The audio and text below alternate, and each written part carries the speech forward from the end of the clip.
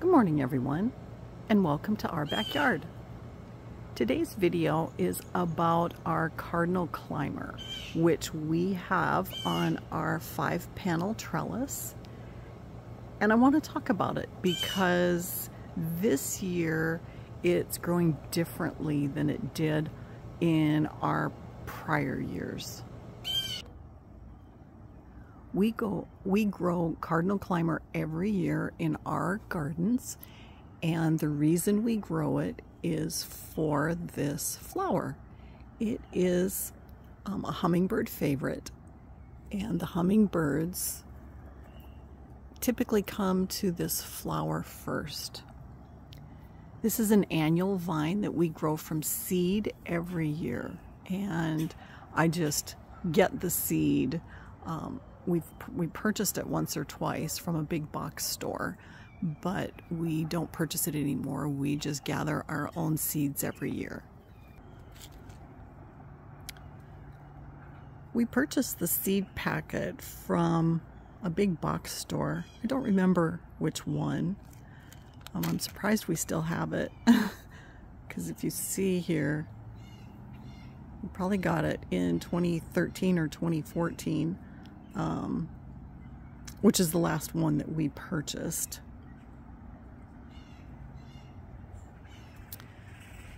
But the vine does grow very high. You'll see here the plant height is 10 to 20 feet. You plant the seed a half inch and days to germination is 14 to 16 days which is true unless you soak them. So just to show you,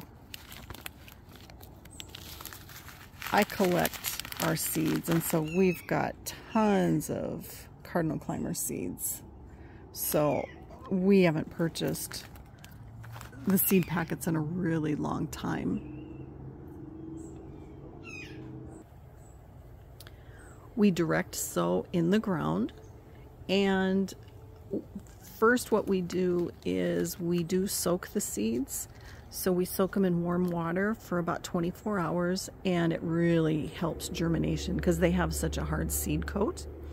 Um, and we then um, direct sow them in the spring. And down here in the Gulf Coast area, south of Houston, this year we were able to plant them in early March because we had a very early spring. But I see a seed here.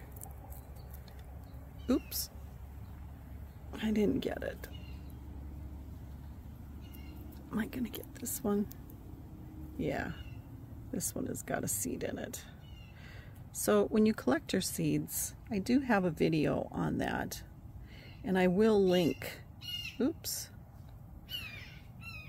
I will link my video. Ugh, I dropped it.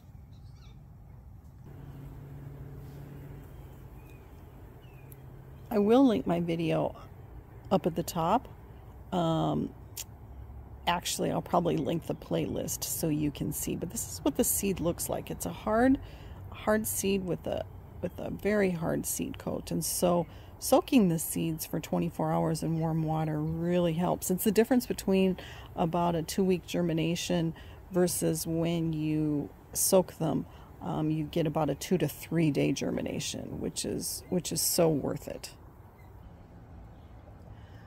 We plant this in a couple areas of our garden.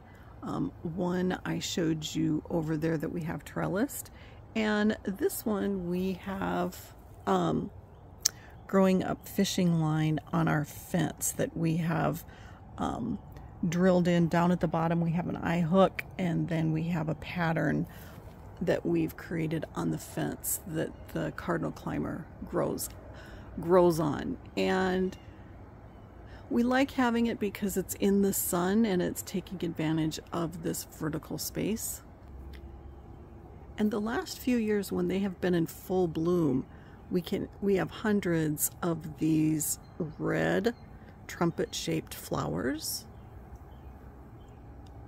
that the hummingbirds love. You can see that has a tubular shape, just perfect for the hummingbirds. Butterflies also like this flower, so I have butterflies that go to the cardinal climber um, also. The leaves on the cardinal climber this year are not large, and this cardinal climber is a hybrid. It's a hybrid, so it is a cross between the red cypress vine and a red morning glory. And so the leaf structure is a cross between them. This vine typically gets very beautiful and thick. And the reason I wanted to do this video is because exactly one year ago today, I did a video on our cardinal climber and it was gorgeous and lush and huge. And I'm going to actually link that up top so you can see what it looked like. So why is this year a little different? This year it has bloomed early for us and it's pretty much bloomed all summer long, which is not typical in the years that we've grown it in the past. And it also has not filled in all along the trellis. There is still time, but one of the things that's very different this year is we have had a brutally hot summer. And I know I've mentioned this in some of my videos. Texas has got hit and hit with a heat wave where since mid-June we have had temperatures in the hundreds and the feels like temperature is in the hundred and teens. So we've had a lot of excessive heat advisories and I think this has definitely affected this vine, even though this is a tropical. The leaves are smaller, they're not as thick, and they're not as abundant. It is a plant that does need water, and so we have not had rains this year like we typically do either. So we've had to ensure that it gets enough water, which we've been doing. But it has definitely affected this vine. In all fairness, the excessive heat and excessive heat warnings have affected almost all plants. Um, and it's really caused a lot of stress on plants.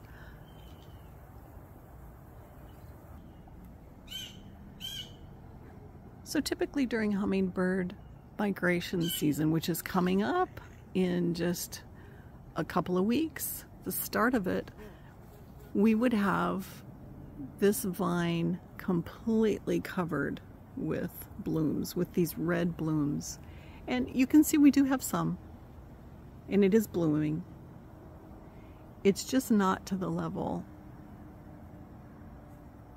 of the vine that we have seen in years past. And the reason I wanted to share that is because sometimes we do have weather conditions that just make things difficult in the garden. And here in Texas, south of Houston, we have this year, and it has been this excessive heat.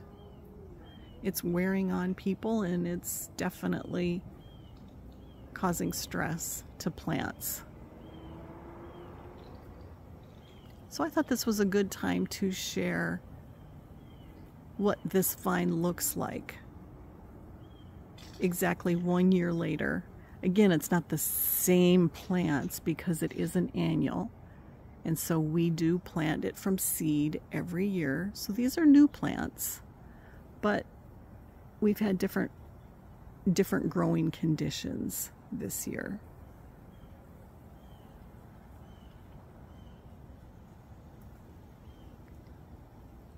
So anyway, like I said, I've linked up at the top. I'll also put the link um, in the description so you can see what this vine typically looks like for us.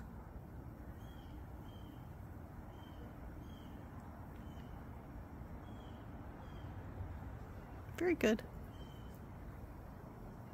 Well, thanks for joining me this morning. I hope you all have a wonderful day. And if you are in Texas or in the South, goodness, stay hydrated and stay safe. Okay. Have a wonderful day, everyone.